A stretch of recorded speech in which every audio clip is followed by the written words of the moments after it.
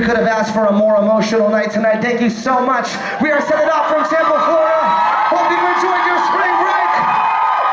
Make sure to check out everybody's merch.